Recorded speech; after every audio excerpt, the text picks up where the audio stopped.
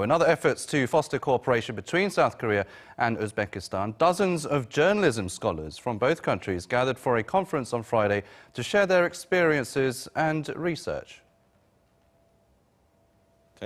South Korea and Uzbekistan are not only cooperating on a political level, but also on an educational level. We came here today to exchange each other's experiences and discuss ways to develop the transformation of the media landscape and journalism around the globe. The two sides exchanged ideas on ways to tackle problems in journalism and media, such as ways to cope with so-called fake news. The latest seminar follows a joint forum hosted by two Uzbek universities last year, which was attended by 10 Korean scholars.